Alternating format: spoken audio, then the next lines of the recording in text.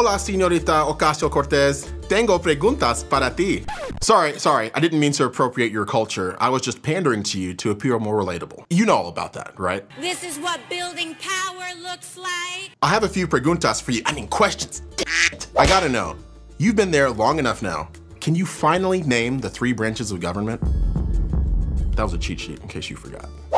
Booking my flight to Puerto Rico for 2023.